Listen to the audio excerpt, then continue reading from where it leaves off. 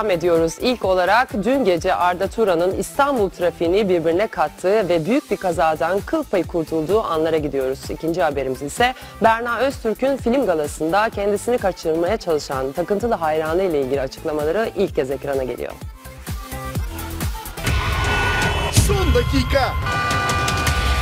Önce güneşlikleri indirtti. Sonra trafiğin altına üstüne getirdi. Arda Turan'ın dün gece yaşadığı panik anları sadece Magazin D'de.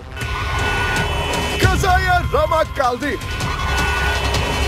Arda Turan'ın adı magazin manşetlerini süslemeye devam ediyor. Yarın Galatasaray karşısında önemli bir maçı çıkacak olan Arda Turan dün Bebek caddelerini deyim yerindeyse birbirine kattı.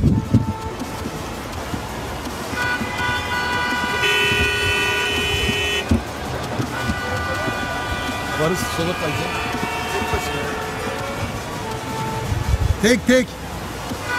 Arda Turan'ın bir mekanda olduğunu öğrenen ekibimiz soluğu Bebek'te alıyor. Ekibimizin geldiğini öğrenen ünlü futbolcu gözükmeden aracının arka koltuğuna saklanıyor. Gözükmüyor ki abi.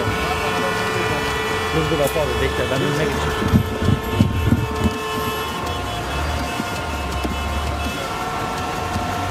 Net görüntü alamayan kameramanımız aracın ön tarafına doğru hareketleniyor. Arda Turansa gözüktüğünü düşündüğü için şoförüne talimat vererek otomobilin güneşliklerini indirtiyor.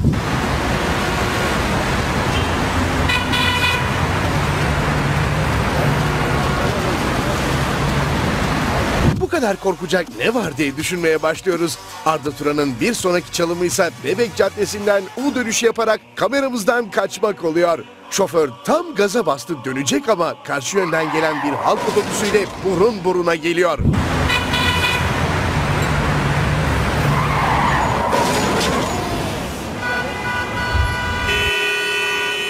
Arda Turan'ın bu anlamsız paniği az kalsın maddi hasarlı bir kazaya sebebiyet veriyordu. Kazadan kıl payı kurtulan Arda Turan emeline kavuşarak kameramızdan uzaklaşıyor.